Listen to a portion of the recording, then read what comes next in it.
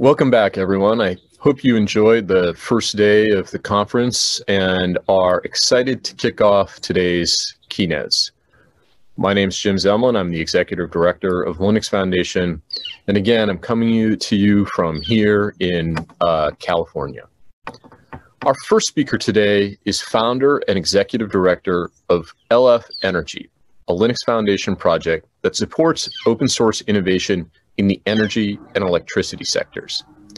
LF Energy's ambition is to accelerate the energy transition and the decarbonization of the world's economies. It's fitting that I'm coming to you here from Napa, California, where we've had devastating wildfires throughout very, very close to where I'm standing right now. Today, Shuli Goodman will share more about LF Energy, the electrification of everything, and defining the future of the grid. Please welcome Shuli Goodman.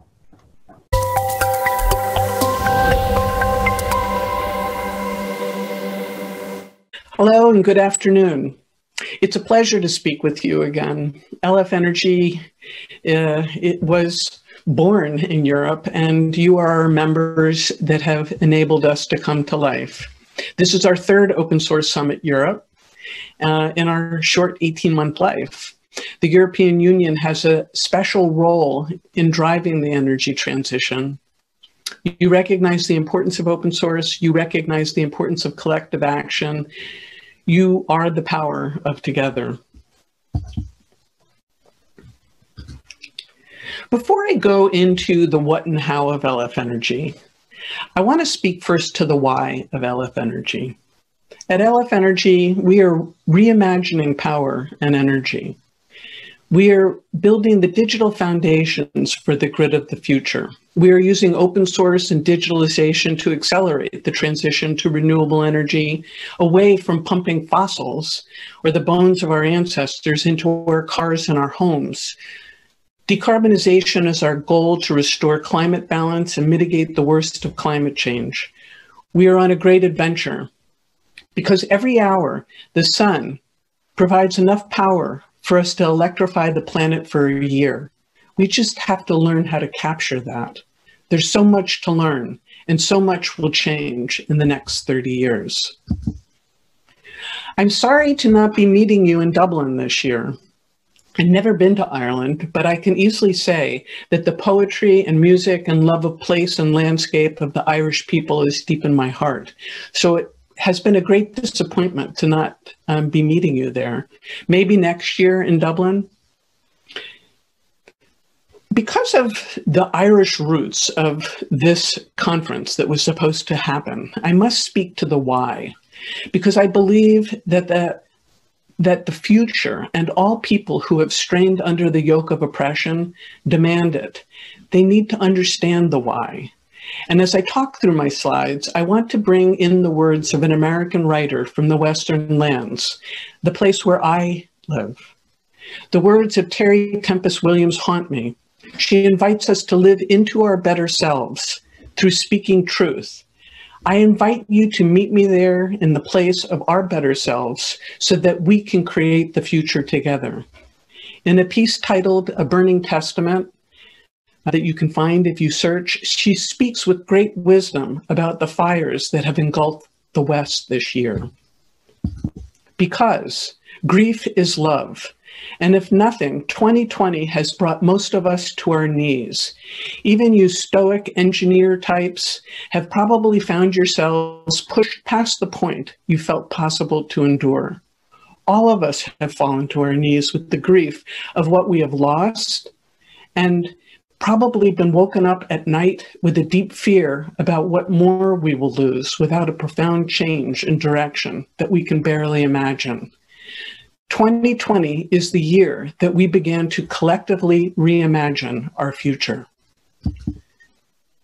It is time to grieve and mourn the dead and the end of some chapter of human experience one that began nearly 150 years ago with the advent of fossil fuel and the internal combustion engine. A period that brings us to today when the pollution from fossil fuel threatens life on Earth.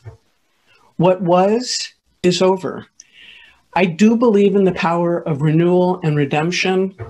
And if you want to talk about power and energy, we have to talk about where we came from because we have to reimagine the future from a different place. We must reclaim our energy and take back our power. And our grief is the doorway. As Terry Tempest Williams says, if we do not embrace our grief, our sadness will come out sideways in unexpected forms of depression and violence. We must dare to find a proper ceremony to collectively honor the dead from the coronavirus as we approach 1.2 million lives lost. We must honor the lives engulfed in these Western fires and the lives we will continue to lose from the climate crisis at hand. Only then can we begin the work of restoration, respecting the generations to come as we clear a path toward cooling a warming planet. This will be our joy. This is the mission of LF Energy, and it is truly a work of joy. We cannot breathe. This is our mantra in America now, and it is far more universal. Terry says, We cannot breathe because of the smoke. We cannot breathe because of a virus that has entered our homes. We cannot breathe because of police brutality and too many black bodies dead on the street. We cannot breathe because we are holding our breath for the people and places we love. This is the place that I love. It's the place that I call home. It's the view from my neighbor's house looking north. This summer, we have had two fires, one that was barely five miles away and another about a dozen miles. They surrounded us. Ash was everywhere, smoke was everywhere. It was night during the day. Terry Tempest Williams says, We have been living a myth, we have constructed a dream, we have cajoled and seduced ourselves into believing we are the center of all things. With plants and other sentient beings, from ants to lizards to coyotes and grizzly bears, remaining subservient to our whims, our desires, and our needs. This is a lethal lie that will be seen by future generations as a grave as a grave moral sin committed and buried in the name of ignorance and arrogance. And so it is for future generations that LF Energy exists. She goes on, the facts do not tell the story of how our hearts are breaking, nor do the photographs of blackened forests or lone chimneys standing as monuments to homes once inhabited, nor does the news speak to the terror of fleeing fires lapping at our heels that we can never outrun, only pray for a change in the wind. And to this I say, how has it become that one person's tragedy has become my good luck? That is no way to treat a neighbor nor a life. Yet this is the world that we occupy in 2020. So to everyone I say, if this is one degree, I shudder to imagine two degrees. She says, to the power of these burning, illuminated Western lands who have shaped our character, inspired our souls, and restored our belief in what is beautiful and enduring, I will never write your obituary, because even as you burn, you are throwing down seeds that will sprout and flower, trees will grow, and forests will rise again as living testaments to how one survives change. I say, this is my hope. Out of the fires will come life. Out of coronavirus will come life, resilience, and a wisdom that this is how we survive change. We survive change together. She says, let this be a humble tribute, an exaltation, an homage, and an open hearted eulogy to all who are lo- we are losing in the floods and the fires and the hurricanes and tornadoes and the invisible virus that has called us all home and brought us to our knees.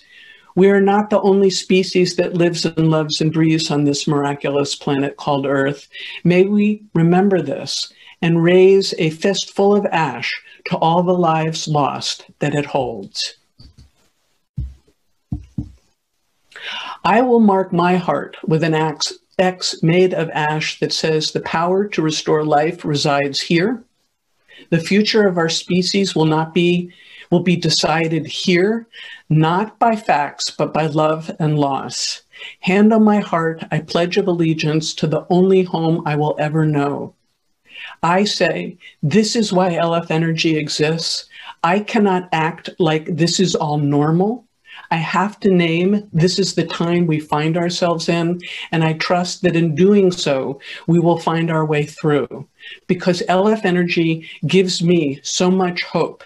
Even in the despair, I wake up, I do the work of LF Energy because it is where hope lives, and I want to give you that hope as well. The DNA of LF Energy is the Linux Foundation.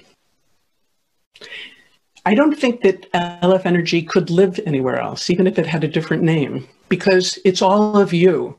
It is the kernel, it is LF networking, it is automotive grade Linux, it is LFAI, it is Hyperledger, it is Node.js, it is the Edge, it is CNCF, it is RISC-V, it is all of you. You have cleared a path and you have left breadcrumbs for us to follow, those of us from the energy industry. And while we are a young foundation in an old industry, we carry a mighty history, and that is the DNA of LF Energy. But why put an energy ecosystem in the Linux Foundation? My background, as most of you know, is not as a power system engineer, um, but was in enterprise information management and governance. And then I went and I got a PhD in innovation, focusing on adoption and diffusion. Most of you have probably seen this typical adoption curve, gentle and predictable. Most of all, innovations, be they a belief, a practice, or a technology, follow this curve. This is the diffusion curve we face in the next 30 years to avert thousands of years of climate collapse. It is steep, yet what is hopeful, even in the 9% annual transformation that we have to do for the next 20 years, I say 30, but really it's 20, um, has been done before um, with the internet and the cloud. They both happened very quickly. They went from ideas to creation. And that is the diffusion pattern that we have to follow. On planet Earth, we have had five extinction events before, all as a result of too much carbon in the environment. This is the first that is man-made. We need some serious superpower to navigate this. We need mass collaboration like the Starling Murmur. We need to design the grid of the future in relationship to the natural systems of the planet.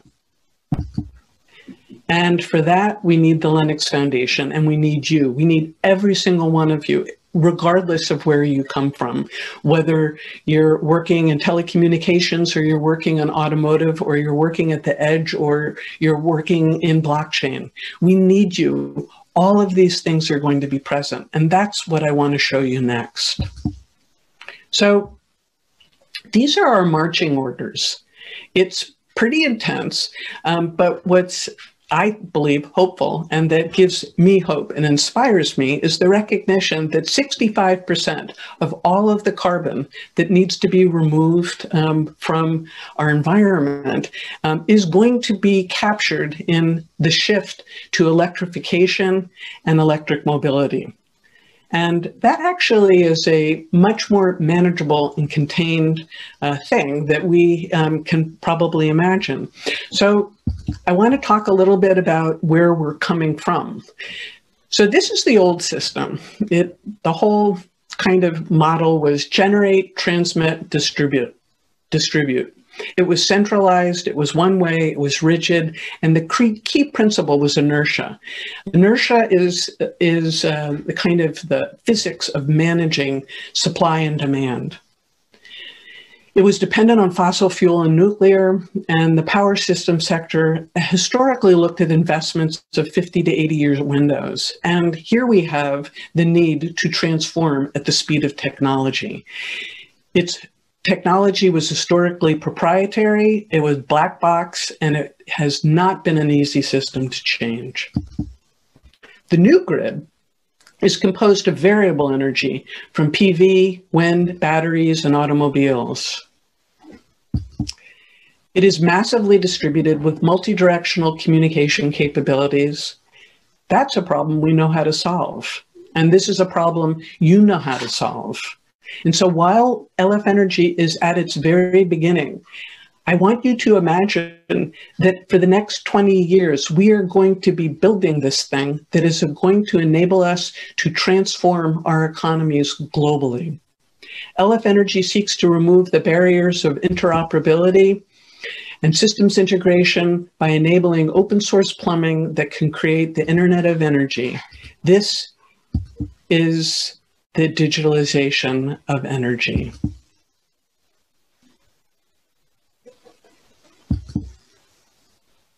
So the vision of LF Energy and the vision of my um, and the vision of my members is that the grid of the future is composed of loosely coupled systems that are resilient, manageable, and observable. Combined with robust automation and digitalization of energy enables engineers and markets to make high impact changes frequently and predictably with minimal toil. The next thing that I want to share with you is, um, you know, Mike Dolan would speak to me all the time about needing to get the architecture. And what I came to really understand is that when you're talking about the grid, you're talking about the largest machine on the planet. And so the power system engineers across high, medium, and low voltage and from generation all the way to behind the meter really made a determination that where we needed to focus was on the functionality. And so what I'm going to show you is the functional architecture. And in the transition to a cloud native grid, um, the features and functions of the grid of the future are really embodied in this taxonomy. So what you see here are the top levels of the facets.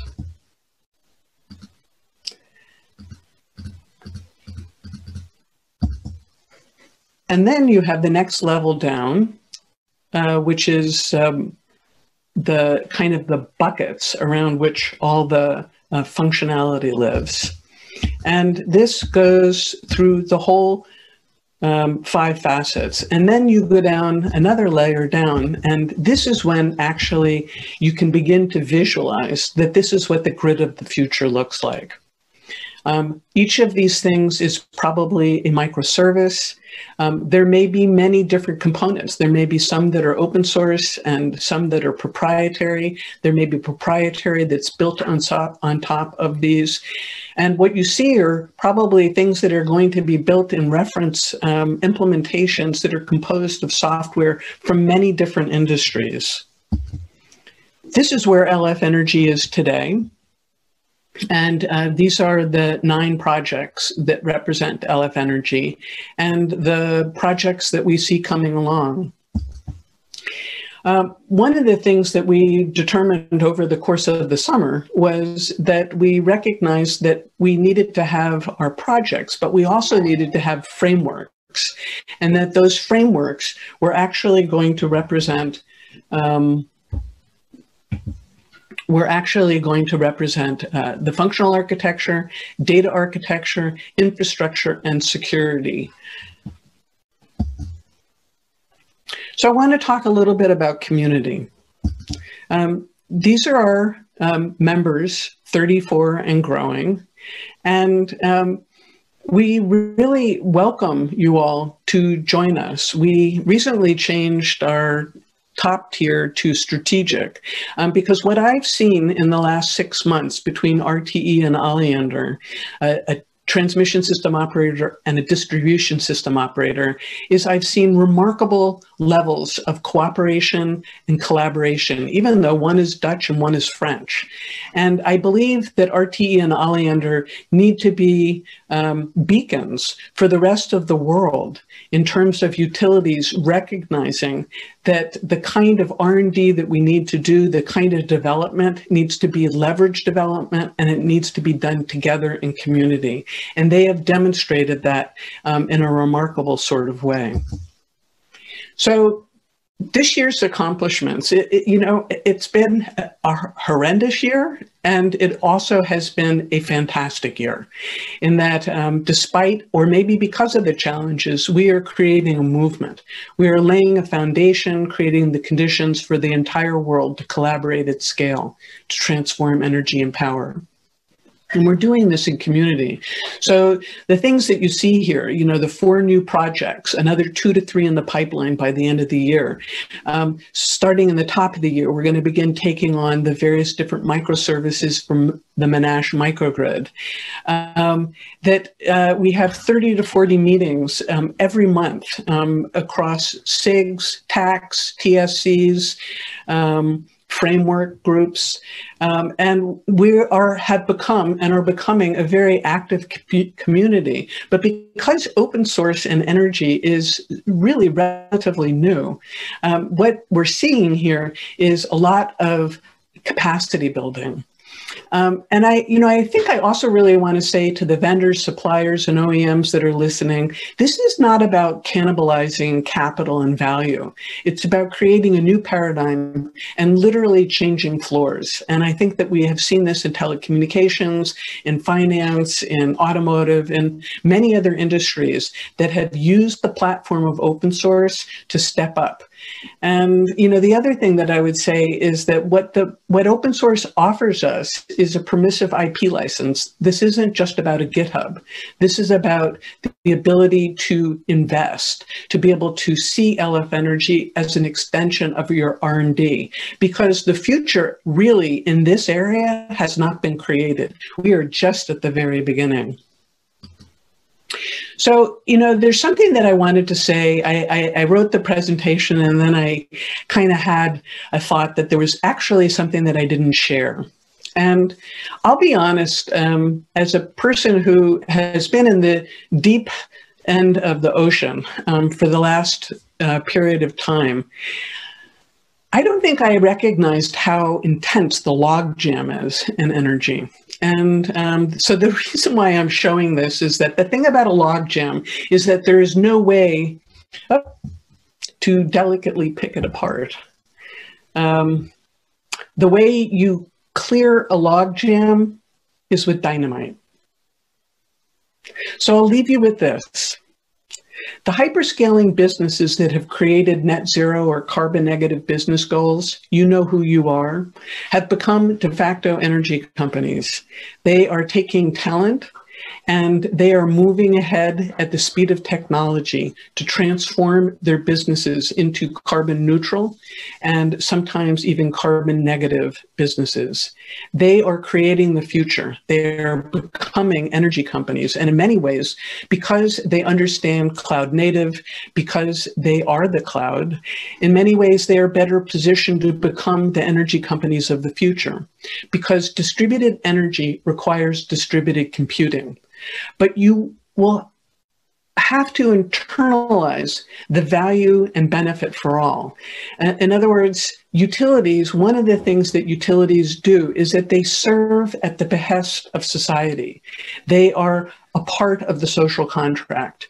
And so, you know, if you are a big hyperscaling business, you don't necessarily think in terms of benefit and value for all. Yet for the future to work and for us to truly decarbonize, part of what we have to do with our economy is to do this um, and to recognize energy as part of our social contract.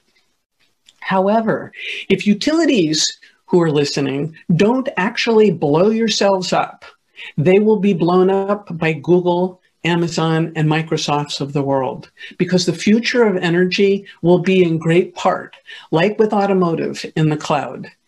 And we are at the very beginning. These things are just, you know, we are we are inventing the future. Um, but you know, not long ago, someone in the energy sector, someone I truly respect, said to me in all seriousness, "But what is the burning platform for utilities to change?" I shook my head in disbelief. If the planet burning is not a burning platform, then I have no idea what will move the industry. So, you know, this is uh, this is what I leave you with.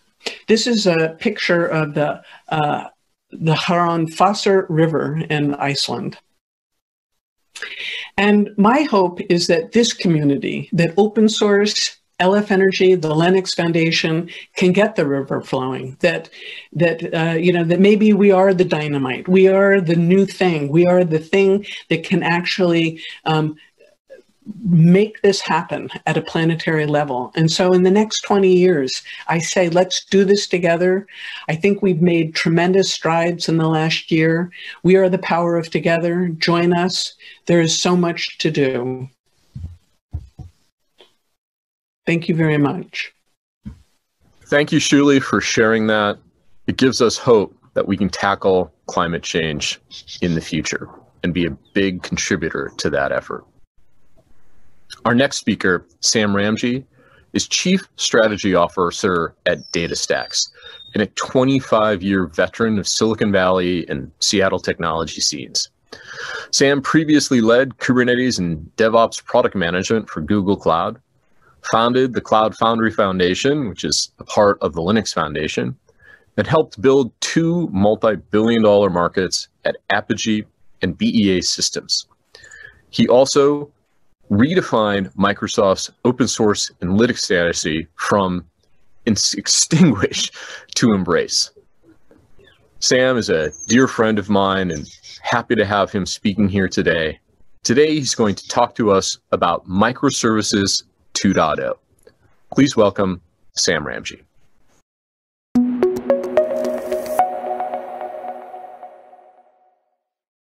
Microservices 2.0 and data economies becoming a data driven enterprise. I'm Sam Ramji, Chief Strategy Officer at DataStax. The world is evolving towards a new cloud native data driven architecture. Reactive, streaming, built on Kubernetes, understood through a graph. That builds on what we developed in the microservices era and creates data economies.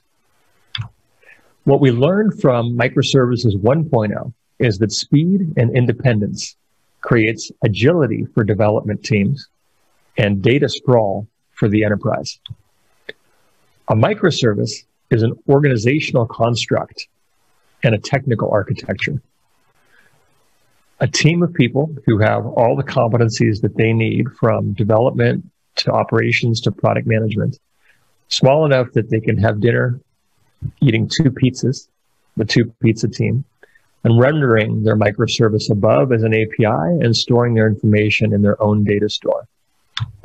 It's very good for building things fast and iterating rapidly to discover what's needed by users and how to support an SLO, a service level objective. It's comprehensive, it's complete, and it has the independence it needs to move fast. This team can use any tools that they want, any language, any data infrastructure. Now, microservices were the beginning of networked data in the enterprise. Services at the core, with data microservices everywhere, is the big architectural change. Microservices are about the future of data. The microservices approach is easy to scale organizationally and shows greatly increased velocity as compared to large teams. Instead of using hundreds of people in functions, redeploying them to independent, fully comprehensive teams with all the diversity that they need to be successful is a much faster way to build organizations. Two problems emerge service dependencies and data sprawl. Service dependencies look a bit like this. We have our concept of how our services might work with each other. Then we have how we deployed it. And then we have what grew out operationally and our operational view of the services and their dependencies is almost never the same as we thought it would be when we designed it. Often we don't even understand the true operational practices. Databases themselves are all independent and fragmented, each one, sometimes several per microservice, doing its own thing, supported idiosyncratically by the microservices 1.0 team. These end up killing developer velocity by damaging service level objective performance and making data features complex to build and maintain. We solve service dependencies with a service mesh and operational graphs. A service mesh lets us have a common view and common control of all of the services flowing out of the APIs between each construct and from the microservices to their ultimate callers. From there, it's straightforward to build an operational dependency graph and know what's actually happening, not what you thought was happening. This is really, really a core component for building better SLO attainment. Now, the data sprawl problem is harder because the data stores were non-standardized by design. In that search for independence, we told the development teams they could use anything that they want.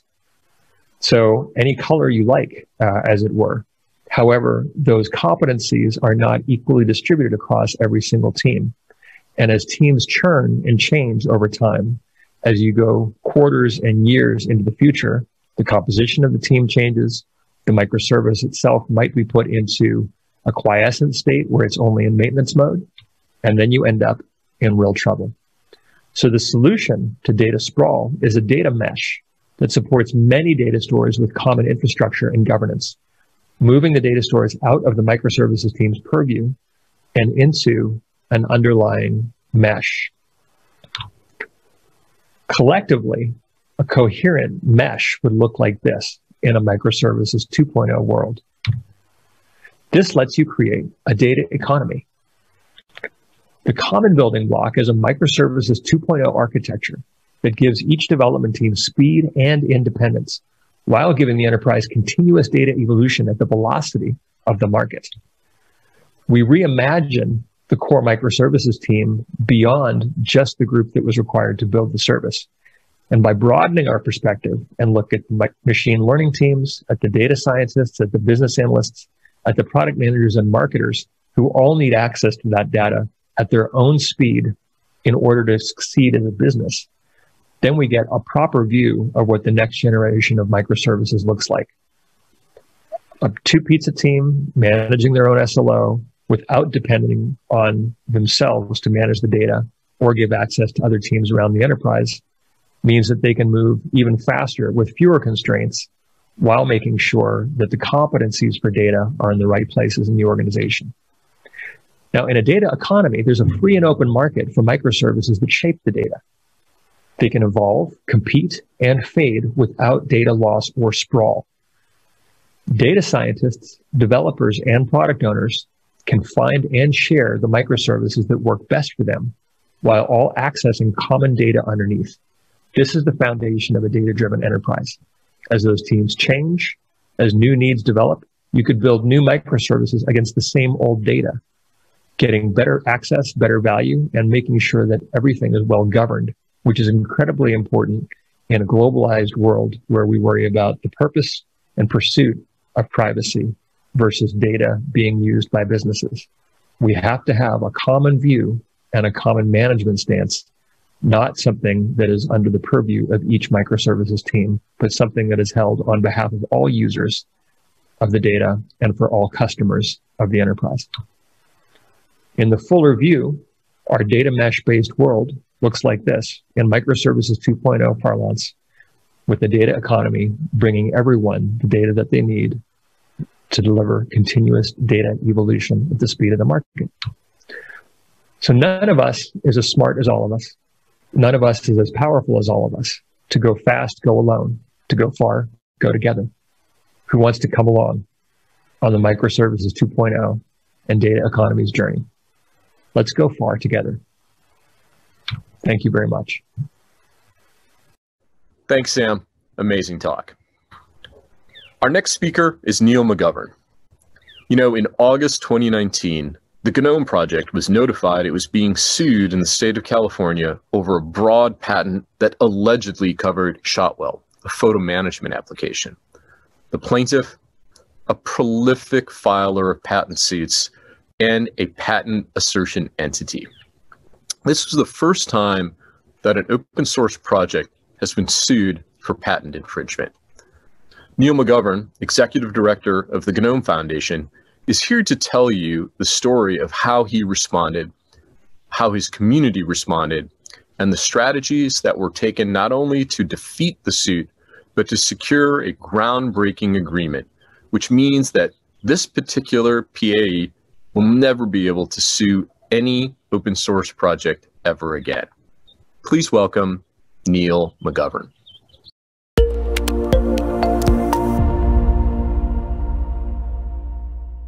So, hi everybody. Um, my name is Neil McGovern. I'm the Executive Director here at the GNOME Foundation.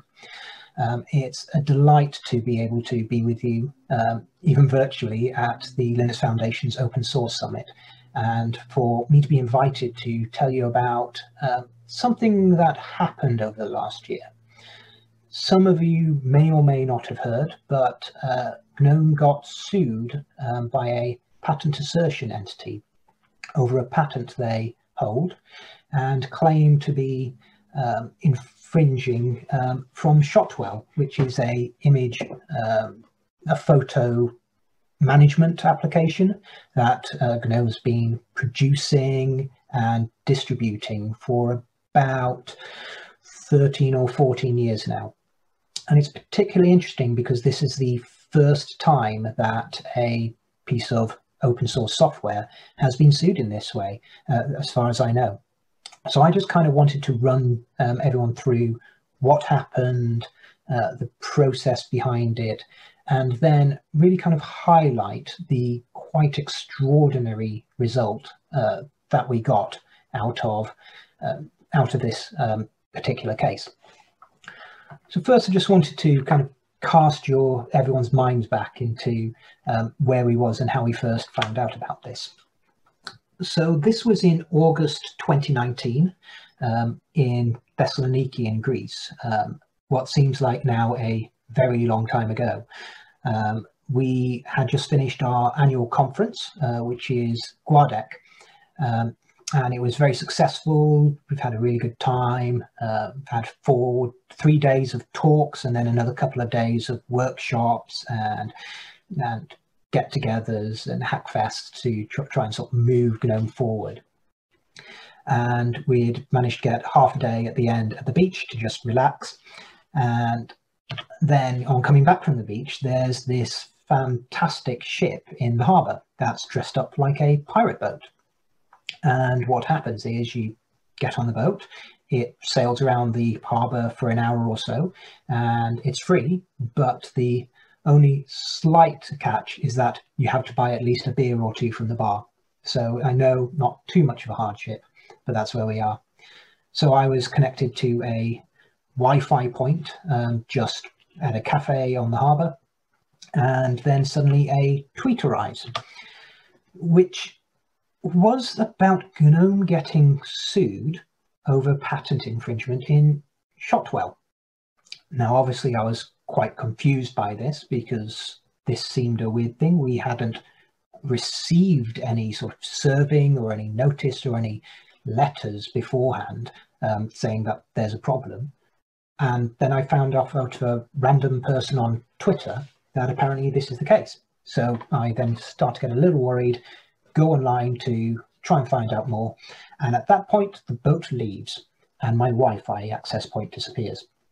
So I'm now stuck on this boat, which is sailing around the harbour, looking very pretty, and it's a lovely hot day there, um, but with no internet. So I have no idea what's going on or what is all this is about. So eventually we managed to get back in to land, managed to get an internet connection, and then start to piece together what was going on. So a bit of background. Um, this particular people who were suing us, and it did turn out it looked like a, a genuine lawsuit that had been filed um, in Northern California, was by Rothschild Patent Imaging Incorporated. Now, Lee Rothschild is a very well known um, patent assertion entity um, who has a number of corporate organizations and companies that basically each one holds a single or two patents. And so he has a number of these organizations and the particular organization that, um, that was suing us is Rothschild Patent Imaging. And this suit was filed at the end of August in the District of Northern California, and five other companies were, were sued at the same time. and the particular patent uh, which was filed is the 086 patent, which was filed in 2017. And the basic idea behind this is um, you filter pictures from a camera. So you plug your camera into a computer. There's some sort of process for filtering those images, either automatically or manually, and then it's sent wirelessly to a third device. So plug your camera in, select photos from last month and send to Facebook. Is the contention is that this would infringe their patent. So we had an initial response and we needed to kind of work out what to do. Um, obviously, first I called uh, one of my our pro bono lawyers, which we have in New York, um, Karen Sandler, who is um, fantastic, um, and got a fair amount of reassurance that okay, this does appear to be something real, but it the initial look at it seems awfully broad, and this is going to be an amount of work for us to deal with, but um, we shouldn't worry too much. Um, however, he did also point out that to if this was to go the full distance to be able to actually fight this claim, then you're looking at a bill of around $10 million to successfully defend against this. And uh, I'm not sure about everyone here, but as a non-profit organization who um, only has uh, about nine staff at the moment total, um, which is quite large for a uh, open source project. Um, we don't have $10 million um, sat around. So a, a little bit of a, of a, worry there, what we're going to do. Fortunately, I then took the plane back home uh, from Greece uh, back to the UK. And on landing, I had an email uh, from Shearman and Sterling, um, who are a large uh, international law firm, and Matt Berkowitz and his team there um, have emailed me. They have noticed that this had been filed in Northern California, and they reached out to us and offered to uh, represent us uh, pro bono, which was a huge relief. So obviously I called my lawyer and mentioned this, and uh, she mentioned that they are a fantastic firm who are able to offer real support. So that was a, a real weight off my mind. So we start talking to Matt and the team at Shearman about what we're going to do, what this is all about. And so kind of our initial response um, about this is my, my thoughts was this isn't just about GNOME. This is the first time that open source software has been sued in this way. And my worries is that this would set a dangerous precedent if we just gave in to the the demands that that were that were being required. Uh, I also had a concern uh, having a look at uh, Rothschild entities before um, that the case was uh, simply going to be dropped before trial. What had happened before, for example, is that um, they had sued Garmin. Uh, Garmin defended and said, we're going to take this all the way to court. And then Lee Rothschild uh, dropped the case about an hour before it was going to be before the first hearing in front of the judge. So obviously there's a huge amount of expense uh, and effort that had been put in and Lee Rothschild was um, able to just walk away with no consequences. So that, that was a concern of mine. And I really wanted to send a message that suing a open source nonprofit and an open source project was not going to be an easy win. The way typically these um, PAs work is that they, in particularly in Lee Rothschild's uh, case, is that they just file multiple suits um, against anyone they can possibly get away with and hope for a low to medium settlement offer from each of them, and then they don't necessarily want the case to actually go to court uh, just after a quick payday and trying to get money out of it. So officially, we were served on August 30th. I have that in um, inverted commas because uh, they did manage to serve to an office that uh, an agent of ours that we hadn't used for about 10 years. So we never actually received the official serving, but we thought, well, we're not going to really contest that anyway. Um, and so we went through a round of pro bono assessments and litigation holds um, with uh, staff and the lawyers. So it's a little bit of work there up front just to, to make sure we had all our house in order. For those that don't know, litigation holds is where you basically tell your staff members and anyone involved who could possibly be involved in the case that they really, really shouldn't delete any emails or try and get rid of everything. Everything needs to be preserved in case of uh, discovery.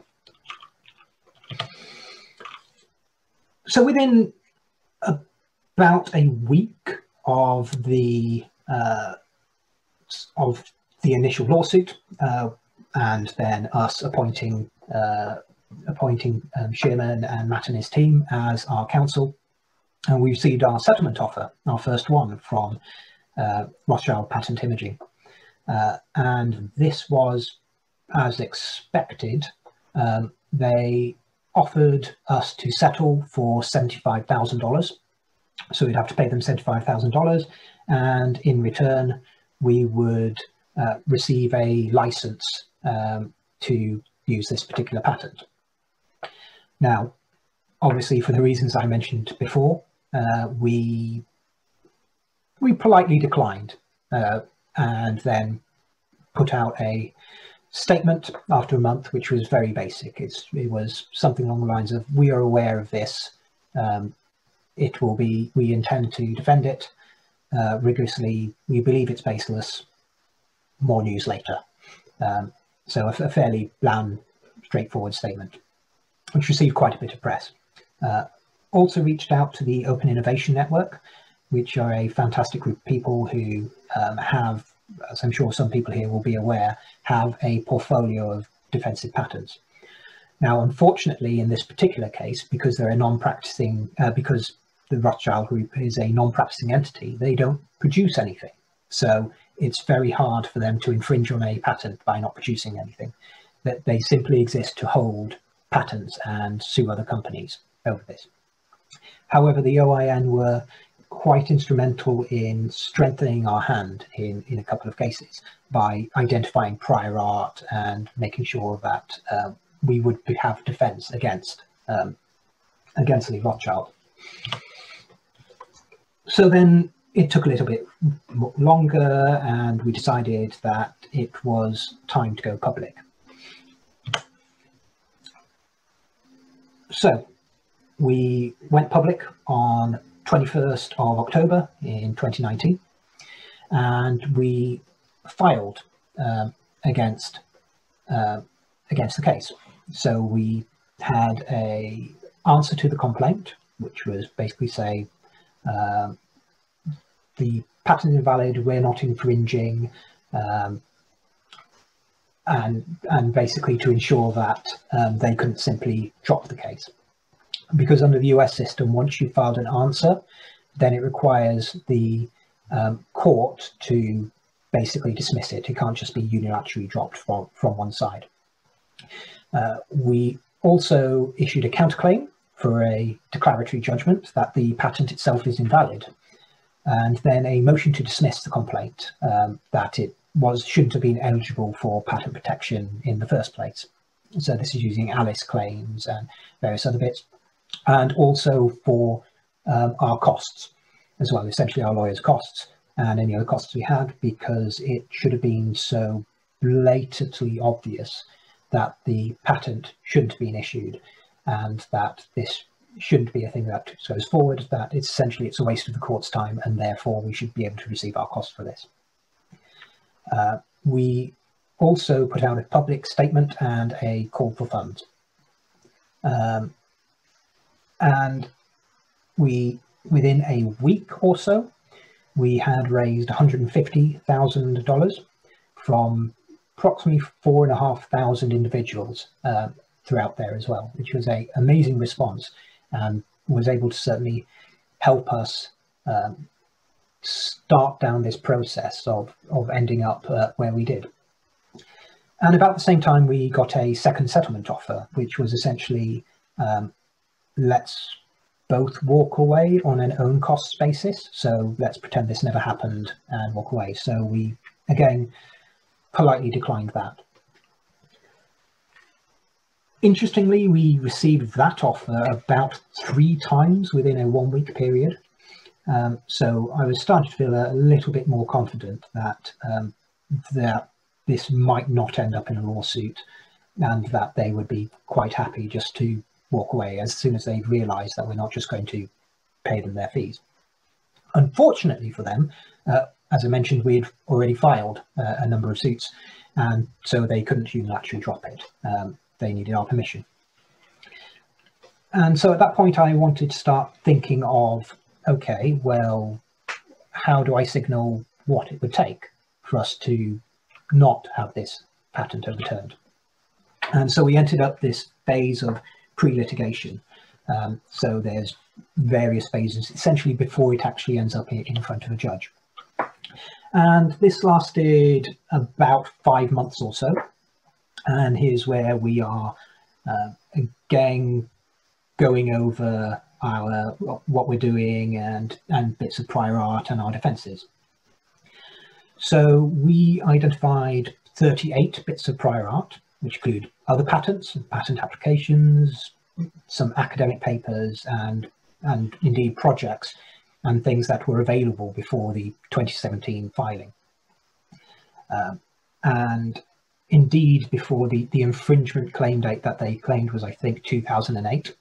And this included stuff that we'd made before. So including Shotwell and gThumb. So the software that they were suing us over was its own prior art for the patent that they were suing us over, which is quite unusual.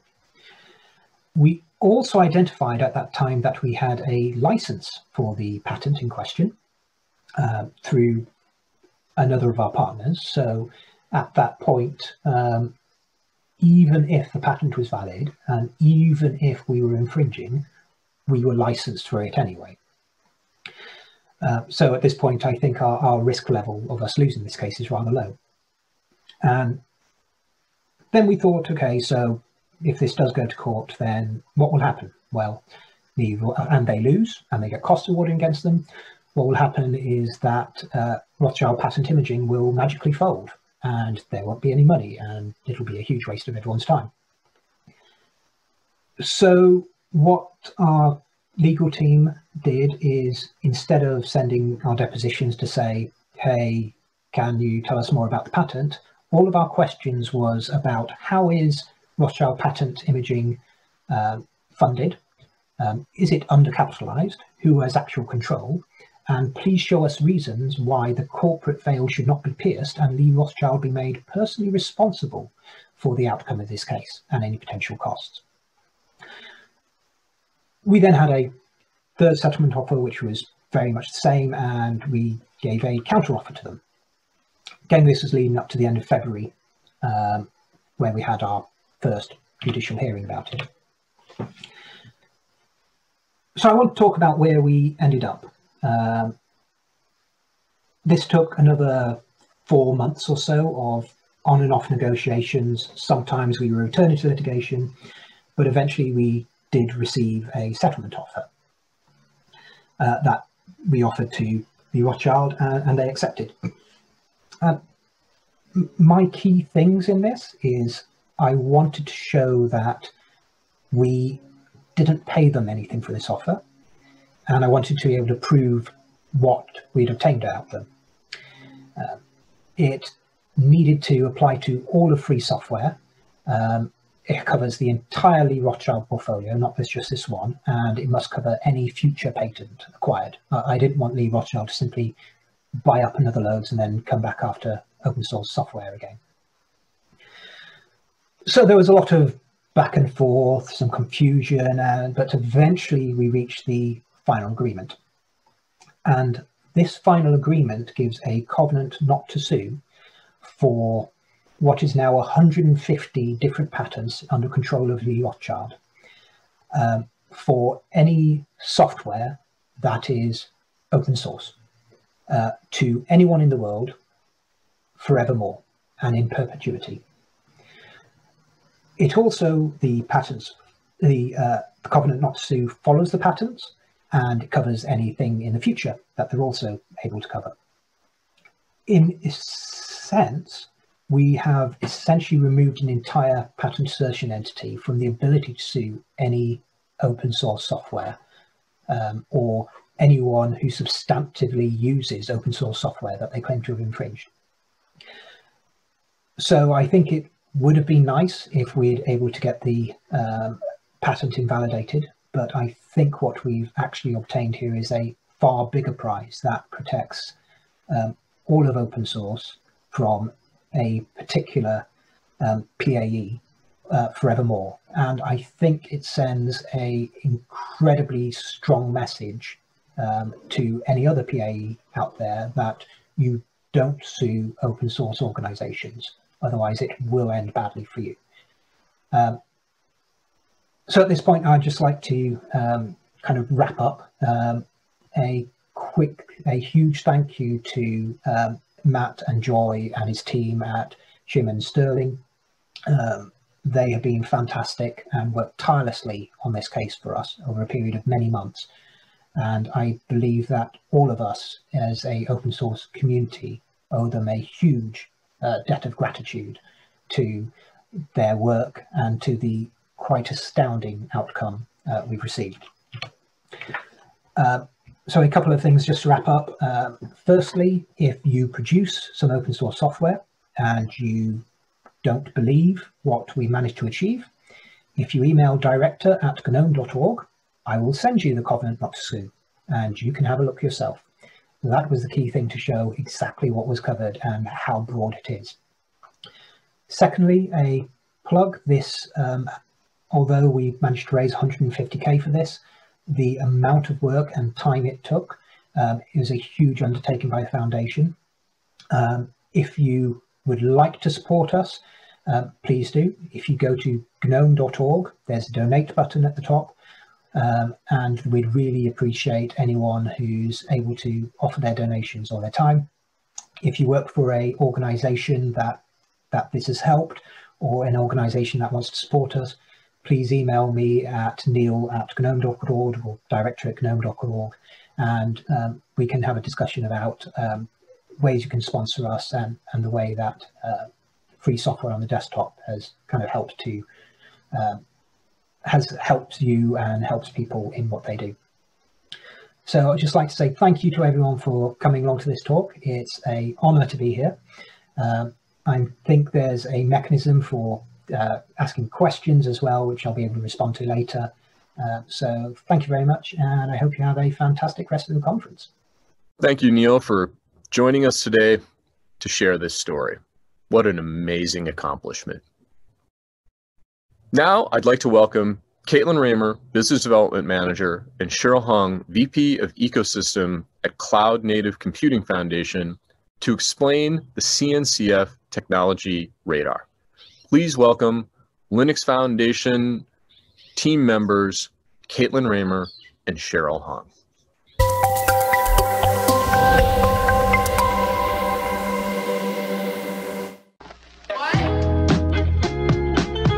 Hi, welcome to Open Source Summit Europe Virtual. I'm Katelin Ramer. I lead business development for CNCF. And I'm Cheryl Hung. I'm the VP of Ecosystem at CNCF. Excellent. So today, Cheryl and I are excited to share more about the upcoming CNCF End User Technology Radar. Uh, I'll be asking Cheryl questions on the goal of the radar, what makes it different, and how you can get involved. So we'll jump in right away. Cheryl, as you know, I'm excited to get the word out about the Tech Radar here at CNCF. One of our goals at CNCF is end user driven open source, which you also highlighted at the last KubeCon Cloud Native Con Europe Virtual. Can you highlight how this tech radar fits in to the strategy of end user driven open source? What is the goal? It's a brilliant question, Katelin. One of the challenges with open source is that even though adoption is really easy, especially in the container world where you can install an image with a single command, it makes it really hard to know who is exactly using what. And that makes it hard for project maintainers to know what features they should prioritize. And it makes it hard for other end users to know what tools they should be using. And the end user technology radar is a quarterly report from the CNCF end user community, who are a group of 140 companies who are all adopting cloud native. And the goal is to share what they really use and really recommend when it comes to cloud native so that project maintainers and other end users can prioritize based on honest real world experience. And that's what we mean by end user driven open source. Oh, that's excellent. Changing gears a little, what do you think makes the CNCF technology radar different from something like a Gartner Magic Quadrant? I'm glad that you asked that, Katelin. The CNCF Technology Radar was partially inspired by the Gartner Magic Quadrant. Both help companies choose between technology solutions. The biggest difference is that the Gartner Magic Quadrant uses proprietary data analysis methods, while we've designed the CNCF Technology Radar to be open and to be transparent and driven by the CNCF end user community.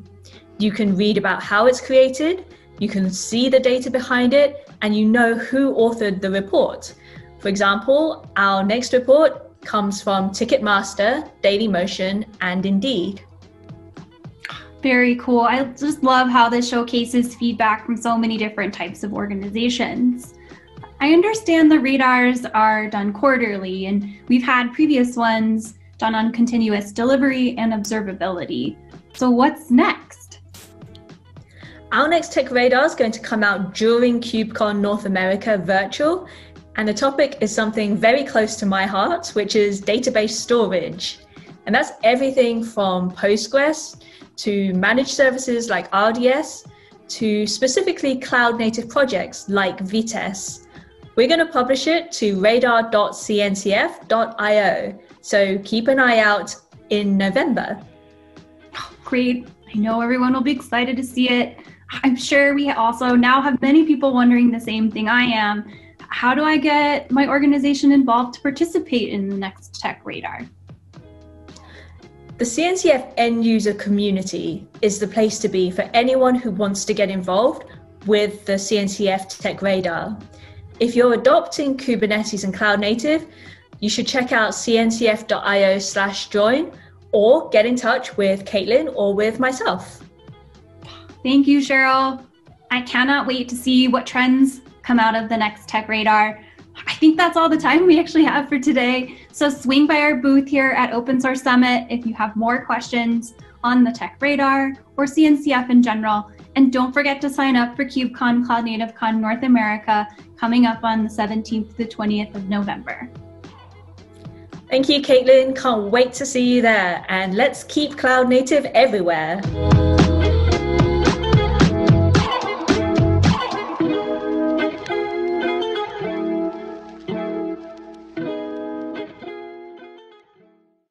Thank you, Katelin and Cheryl.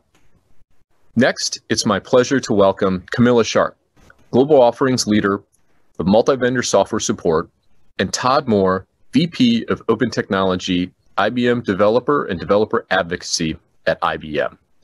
Today, they're going to share key elements organizations should consider when looking to leverage open technologies at scale.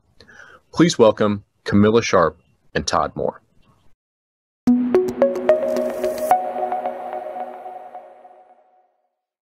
Thank you, Jim, um, and thank you for that, that nice introduction. I'm, I'm here with Camilla Sharpe. Uh, we think we have some topics that are really relevant for you here.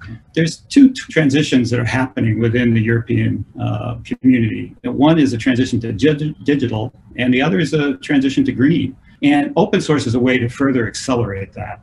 And as we go through our talk today, we'd like to introduce you to some of the things that we've seen as important to enterprises, talk to you about the open enterprise and how you too uh, can think about it, participate, and, and be part of the open source community and world.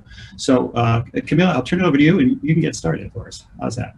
Great, thanks Todd. So as Todd mentioned though, we wanted to take a look at sort of some of the top trends that we're seeing today and really hone in on one specific area um, that we're seeing really as an emerging trend among our clients. And that's really the topic of open source governance. When I talk about open source governance, what I'm referring to is really the people, the processes um, that are used to create that management system around technology usage. So you can really think of it as open source management, if you will. Now, when I talk about open source governance, I like to use this chart here, which is around the application lifecycle management. Um, and the reason I do this is because it's important to understand that when you're building an application or a product, and you know, it's really from conception right through to end of life, governance plays a major role in almost every aspect of that cycle. Um, so when I'm talking with clients on a regular basis, some of the challenges that they bring forward in governance are what you're seeing on the chart here. So I'll just take a minute to cover a few of these. Um, so really when you're first starting to develop an application, you know, so a lot of the times we have clients that are asking, well, what are the right technologies? How do I make the right technology choices? And how do I ensure that those technologies are going to be around for the long term if I'm going to invest in using those technologies?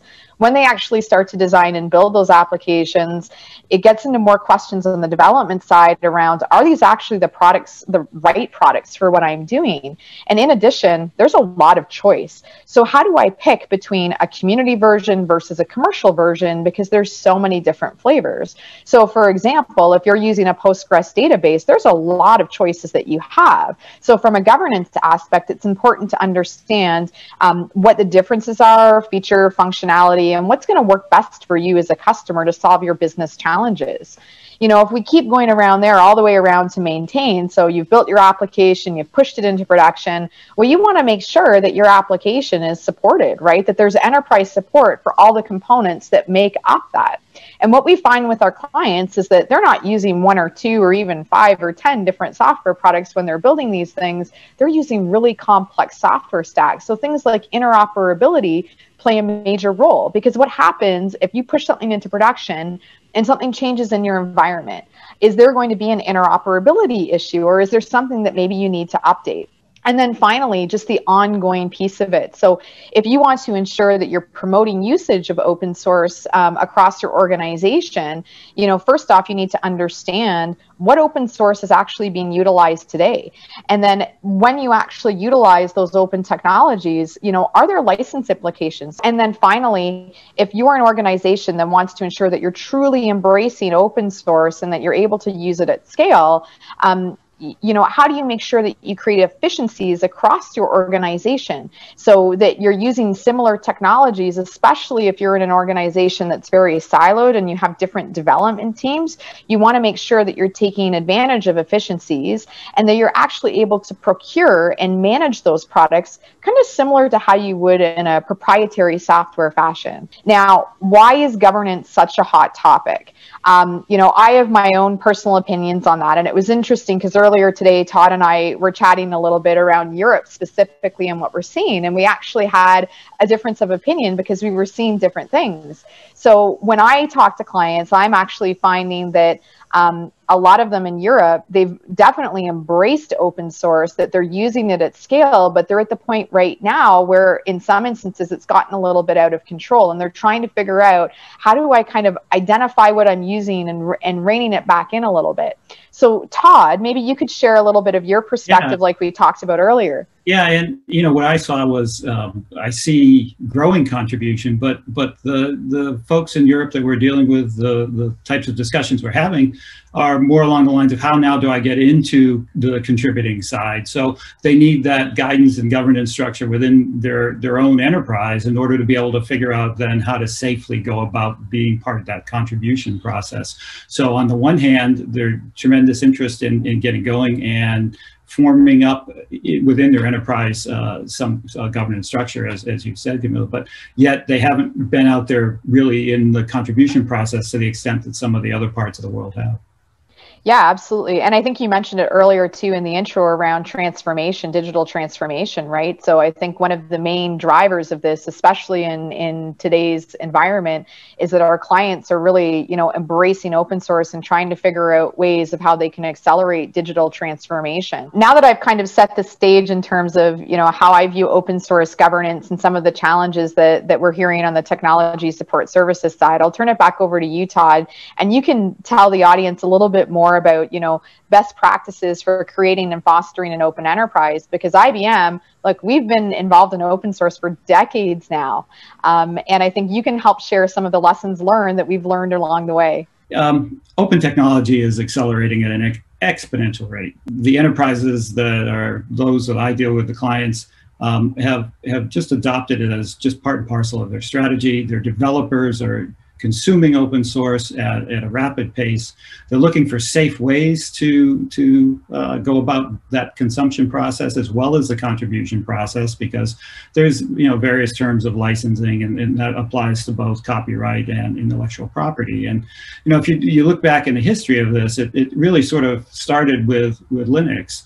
Um, and Apache, uh, the HTML server going into Apache, and of course, I was on those very early calls with my team, looking at uh, with Linus Torvald at you know what could we do with with Linux, and and we realized that it, it could really provide an engine for for growth um, in in what we were doing at that time on on on servers. Um, so it became you know something where IBM put a billion dollar investment into it, and and we pledged to not assert our patents against uh, against the little tux guy there. And, and as a result of that, um, we put faith in behind it for enterprises to start to adopt it. And it started the ball rolling. And then, of course, Eclipse came along where we, we made a, a large code contribution to kick that off. And, you know, that just, just took off wildly to support the world of, of Java and, and on and on and on. But this exponential rise has, has continued here. And in the last, you know, 10 years, we've seen project after project come about, really substantial things, containers in Docker, Node.js, you know, 95% of the world's web services are, have some kind of, of tie back into JavaScript now.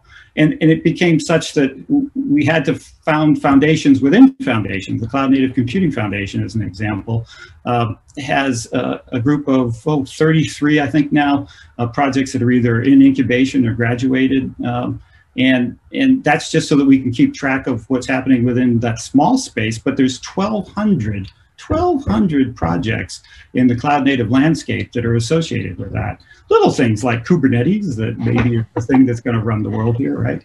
Um, and you know, OpenJS, the same kind of thing. AMP, Electron, Node.js, uh, jQuery, Grunt, uh, you name it. There's a great set of projects, 33 projects within that foundation as well too. Um, so that's a little bit of the history, and that's what really has has pushed us uh, all as an industry and as uh, those who are going through this digital transformation to just embrace it and move with it because it's the very fastest way to get to the leading technologies to build what it is you want to go and build. So, um, however, um, you know, I, I believe that, and I strongly believe this, that if you're consuming open source, you really need to be contributing to open source. There's this harmonious cycle that happens Whereas you make those contributions and you get deeper into the community, you gain their trust, you help shape the direction where you go. And, and as a result of that, you can move faster, accelerate your business, differentiate yourself, and, and really go beyond just taking in and consuming open source, but being part of that world. Um, we love to see good neighbors who come in and join us, and we at IBM like to help people come and do that. Oftentimes, we'll we'll get engaged, and and if you've got a problem, we're we're happy to help you get uh, over that and, and into this contribution cycle. But when you do, remember all organizations aren't exactly the same. You you need to realize that open's great, but it can be risky. Um, you know, some of the places you may look into might actually have some proprietary code that's put there or a license that uh, is unfriendly. Um, so you have to be careful, or or it's a community, you know, maybe that just doesn't have many people contributing to it. The last contribution was maybe a while ago. Also, you know, if you look at what's essential to becoming an open enterprise, you need to have uh, a program that, that you put in place. And, and it, for us here in, in IBM, it's always started with training. We make sure everybody has yearly training and certification so that they know what the rules of the road are.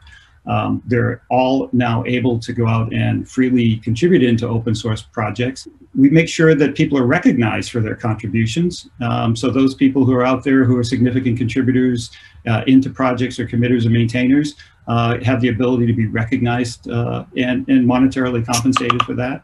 We have tools to help them go scan the code. And then, of course, having an organization that supports your, your team across the board so that um, as, as they progress, as you clear those packages for use, um, that you you have people who understand it or recording it and, and helping you through the process of managing that. Go out, consume, do it you know carefully, eyes open, contribute, as I said, into uh, organizations that you, you feel very uh, confident and friendly in lastly, I, I, just want to say, you know, create an open source project office. Um, make sure that it encompasses the business aspects, the legal aspects, that it brings the technical stakeholders together so that they understand the processes and that you can work with them to smooth out any points as you go through this. Um, centralize it, have a core team that manages it, um, and, and then make sure you have adequate folks there who can, can consult with the developer teams and, and help them through the process of becoming uh, both really um, smart about what they do from a um, standpoint of uh, consumption, but also how to go out and contribute in open source. It's a little different than doing a product inside. Um, people can sometimes be a little afraid of that. Um, we generally offer uh, projects uh, help with, you know, how to get your first pull request landed, and then some mentoring to help move them along as they go. So develop those skills within your team and, and help to share those across your enterprise.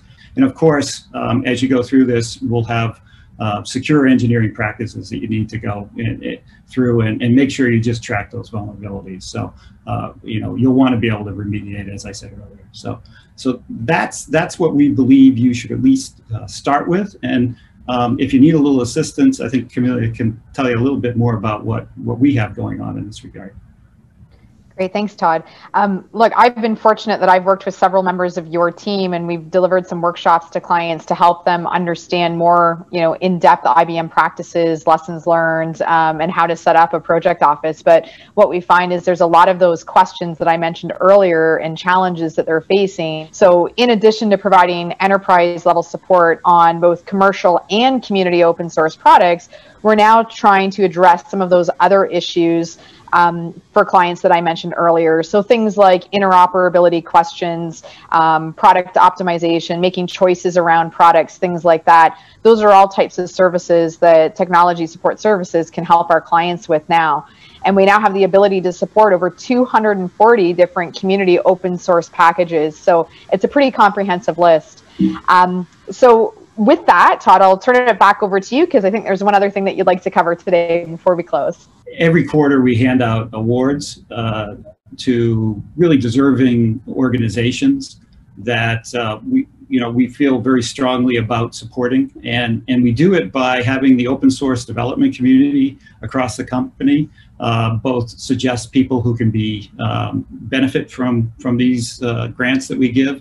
And in this quarter, um, we awarded uh, Black Girls Code uh, with 25,000 in cash and, and 25,000 in, in cloud credits. And uh, this is super for us. Um, it's a, an organization that you know serves the, the community. Uh, they've got a, a great uh, mission, right? They want to increase the women of color who are out in the digital space, basically empower people between the ages of, of 7 and 14 to become innovators in the STEM field and uh, it's just wonderful. Their goal is, uh, uh, you know, a million girls by 2040. So uh, there's a little more that I think Jim Zemlin will talk to you about. IBM's uh, sponsored a STEP challenge, and I'll let him fill you in on the rest. So over to you, Jim.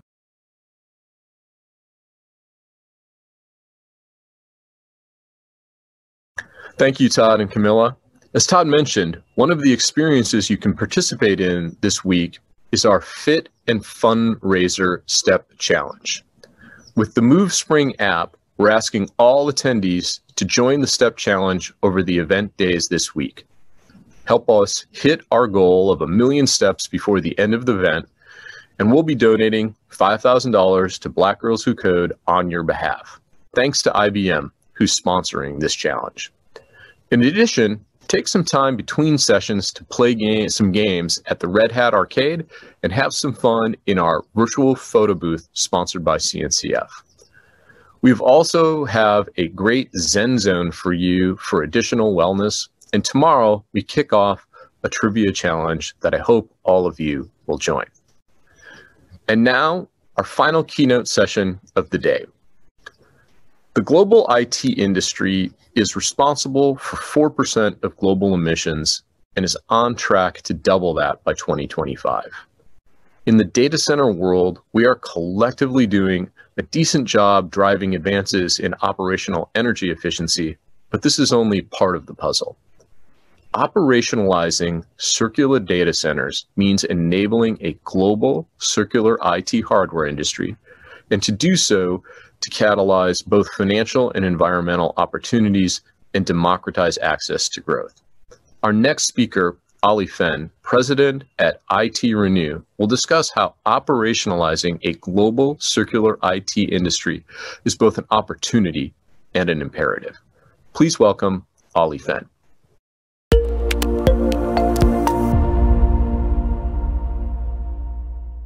Right, thanks, Jim. Great to be here. Really excited uh, to be here talk, talking to all of you at the at the summit this year again. I'm going to uh, take us down perhaps a, a, less familiar path today, and we're going to talk about uh, about hardware, open hardware in particular, but hardware and sustainability.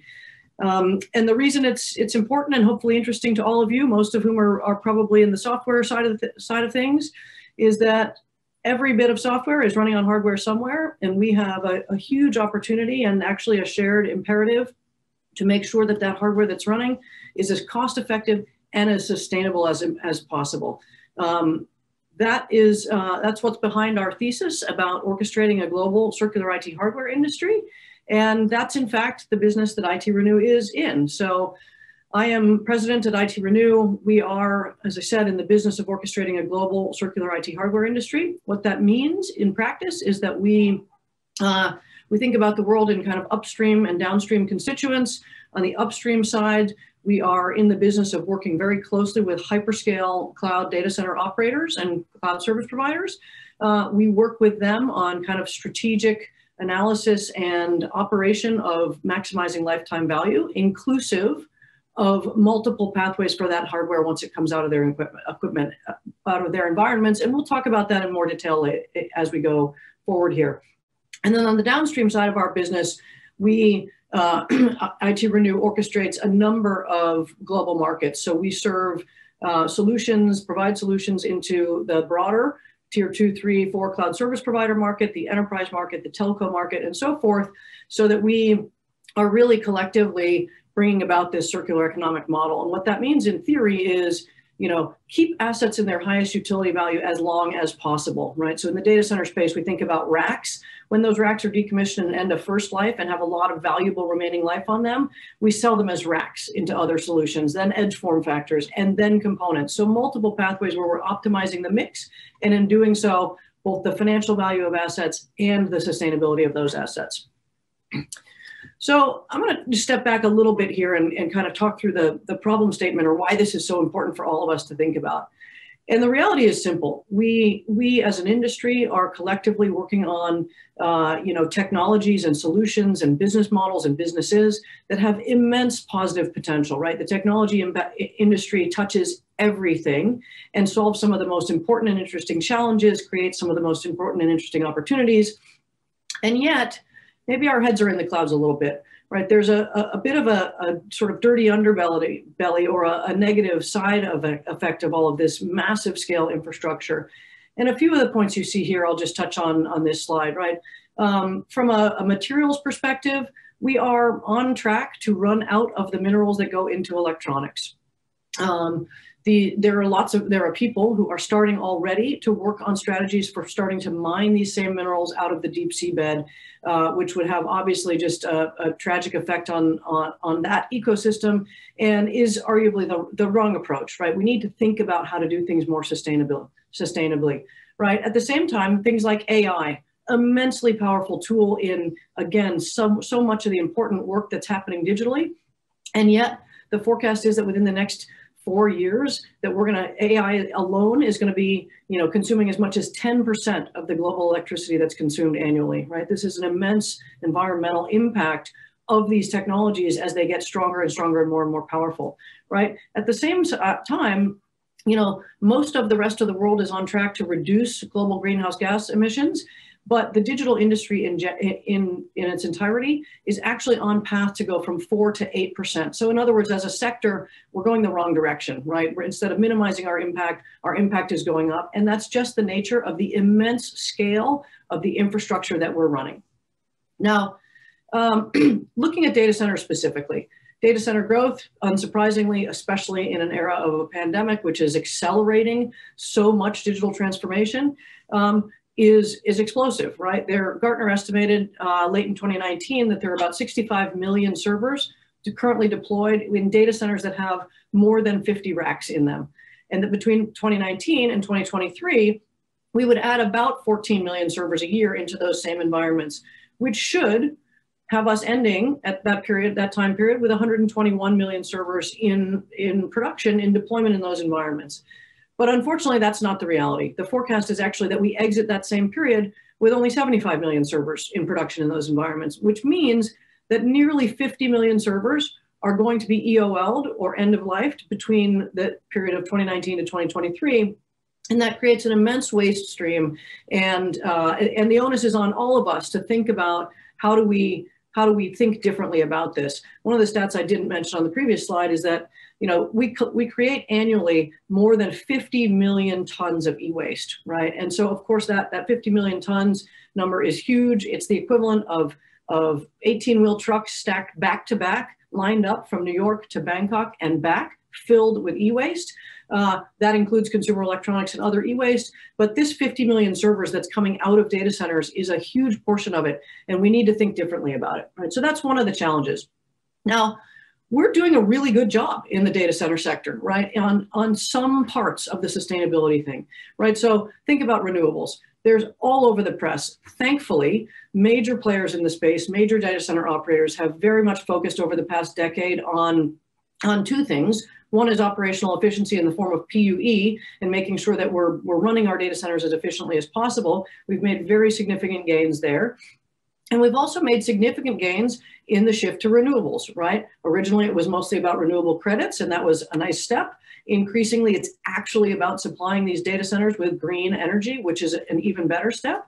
And this is essential and urgent and important work, and we need to continue doing this, right? Job number one, keep marching on the path to renewables, uh, and then, and, and we'll get there, right? Let's assume success there. If we assume success there, then we need to ask the next question, which is if everything we just talked about is about the operational phase energy, are we looking at the whole picture, right? And this, uh, ITRenew has done some interesting research over the past year or so to really truly fully look at the whole life cycle, everything that goes into IT equipment from its, its conception through its use into its disposition.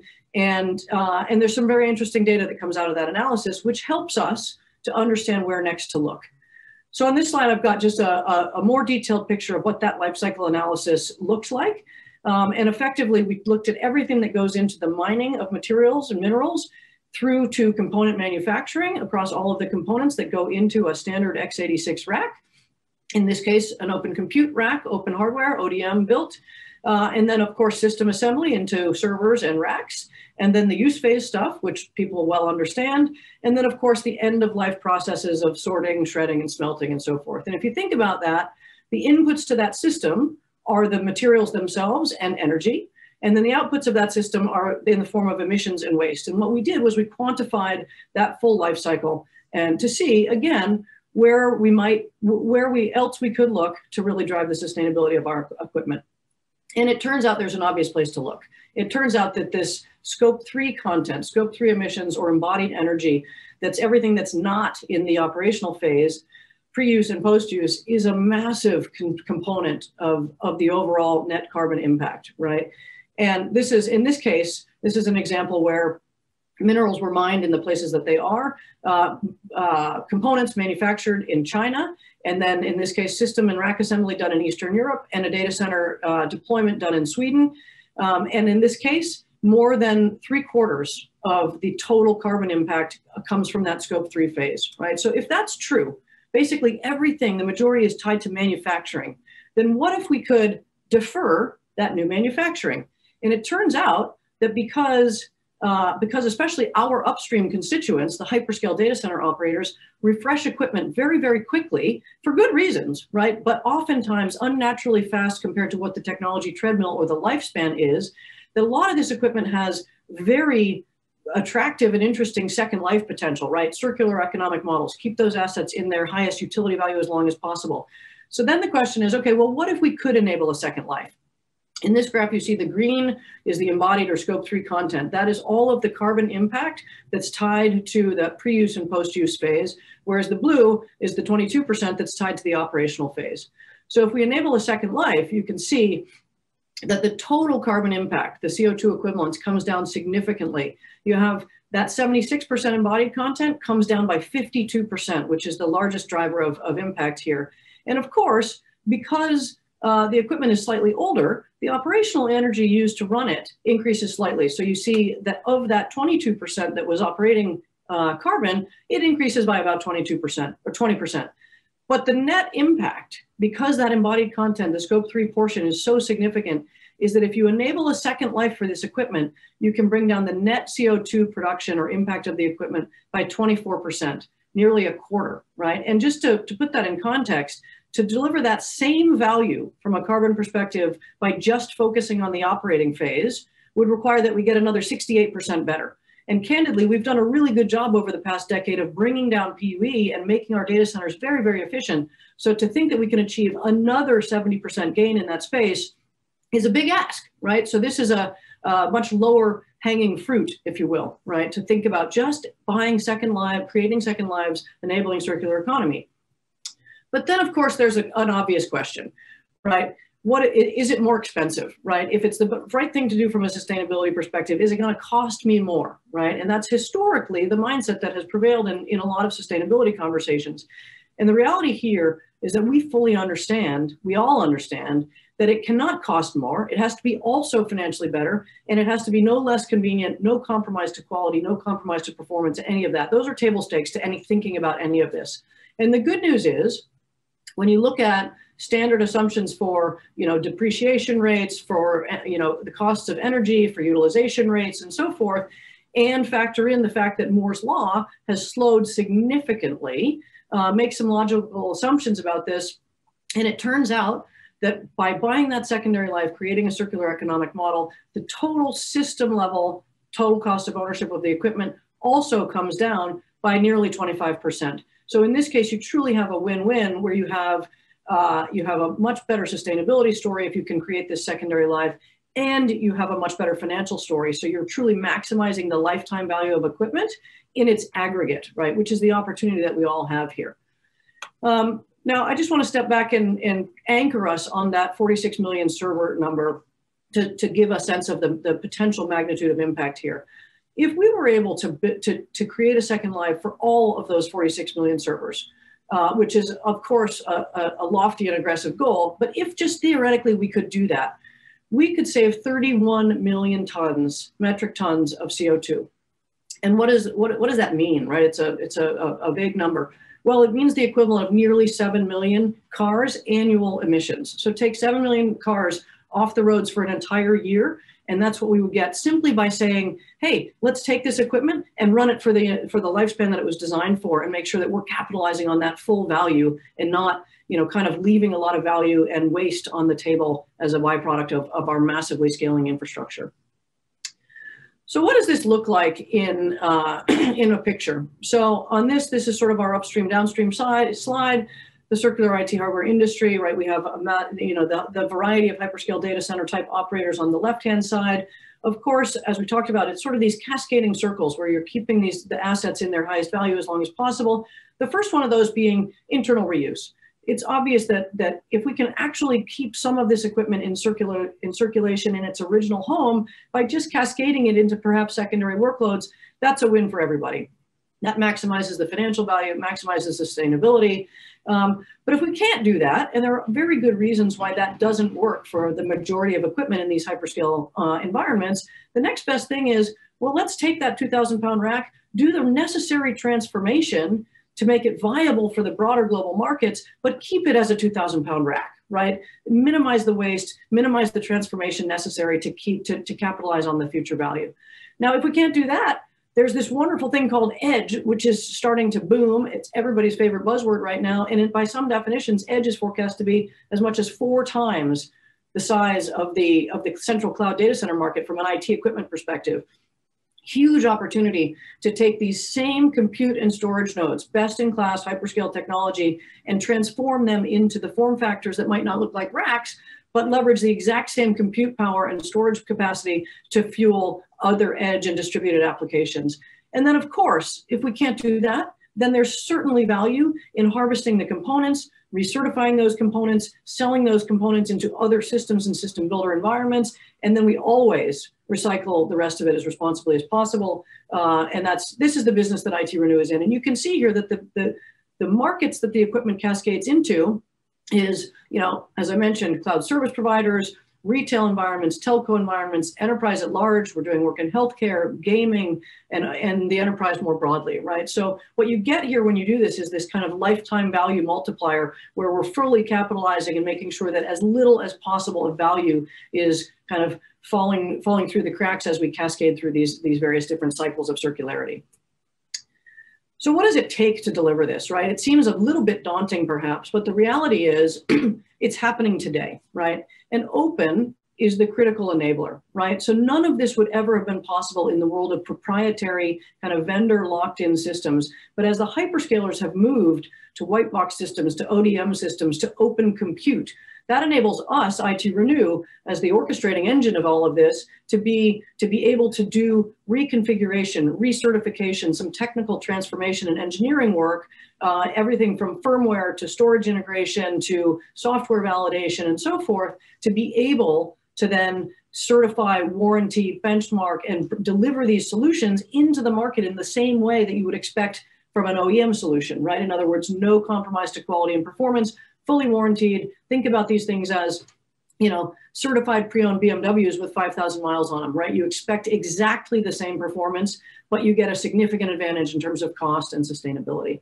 right? So open hardware is the thing that enables all of this. Open systems firmware enables it. Of course, these things are mostly running in Linux heavy environments, Kubernetes, and so forth. So open source is really the catalyzing uh, factor here. And then, of course, there's a tremendous amount that goes in beyond the engineering work into the global operations and logistics footprint that it takes to to you know to do all of the reverse logistics and the flows of equipment and then of course the market making right what really is happening in addition to the services and solutions and products is we all need to come together to help this thing happen, right? As I talked about at the beginning, it's an opportunity, and we've seen from a financial and a sustainability perspective, but it's also our imperative, right? We are we have a negative consequence to the power of our technology that is tied very much to the the, the resources that the software demands and the hardware that, that, that embodies those resources, right? So we need to come together and, and move forward in a more sustainable model.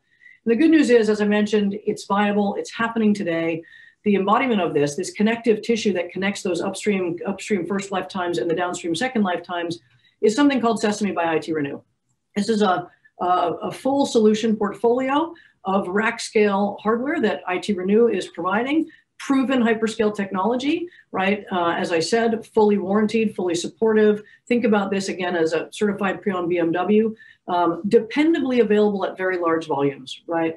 Uh, it is expected in the next couple of years that the top like seven or eight hyperscalers will decommission more equipment, more than 10 million servers a year, right? Much more equipment than the top five OEMs sell collectively, right? This is a massive stream of equipment. It's available very dependably at very large scale, which means that the downstream markets can depend on it and can plan their roadmaps and their infrastructure on it reliably, right? Something we haven't mentioned, I talked about the system level TCO before. This is specifically the hardware TCO here.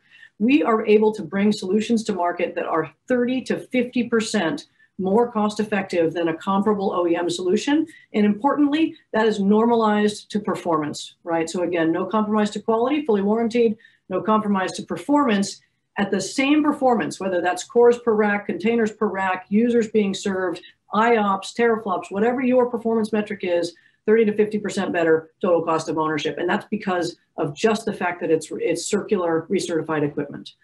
Um, give you a sense of, of how, what it takes to make these things viable for the broader markets has to be super easy, right? The downstream markets don't have the resources that the hyperscalers do. So the solutions have to be plug and play integrated rack scale solutions that come with that are configured to meet the broader market needs whether those are are containerized environments those are virtual environments those are ai environments those are vdi environments you know converged environments whatever the model is full rack scale solutions can literally be wheeled in plugged in and played. We're doing software certifications things like obviously the the, the kubernetes stack VMware, and so forth, right, to meet the needs of the broader enterprise market that hasn't historically been able to take advantage of all this hyperscale innovation because the broader markets just don't have the resources and the supply chain isn't designed to, to, to meet those needs. And this is what this is the game changer on that. So just coming back here to talk about, you know, why this is so important. You know, it's truly a win-win-win. On the upstream side of the business, think about if you're a hyperscaler and you can recover value from your decommissioned equipment that's tied to racks as opposed to components. There's a significant opportunity there, potentially as much as $50 billion over the next 10 years for just the top like 10 hyperscalers, right? Because they're recovering so much more value than they were able to historically because of this circular economic model. On the downstream side, We've done independent research with a third party that has characterized as much as a $10 billion a year market for recertified open hardware. This is places that are budget constrained, that that need integrated solutions, that want open and ODM hardware, have not been able to take advantage of it historically, and want and want to be able to piggyback on and and slipstream behind this hyperscale innovation. And those that creates motivation on both sides, right? Which is which is the beauty of how this thing comes together. Talked about the sustainability and the system level TCO benefit here. Significant opportunity for us all to do much better on both of those fronts. And then lastly, something I haven't touched on, but is super important is that about between 40 and 50% of the global population is still not online.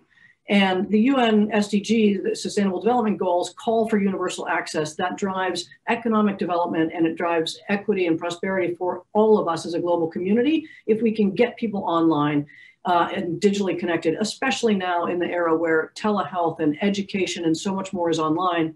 And the problem here is that there's as much as a $100 billion funding gap in getting that infrastructure in place. Now, of course, that's not all IT, but if we can take these circular solutions and we can deliver infrastructure into parts of the world that are not yet online at much more cost effective uh, you know, in much more cost effective ways, then we can accelerate the movement to universal access. And that gets us on track to both a circular and a much more inclusive economy. So we think this is a huge opportunity all of these uh, factors come in beautifully together from a financial and a sustainability and a human access perspective. Uh, we're super excited to work with all of you on it. I hope this has been interesting and I hope you have a great summit. Thank you very much. Thank you, Ali. And thank you for all today's speakers. I hope everyone enjoys the rest of today's sessions. We look forward to seeing you again tomorrow.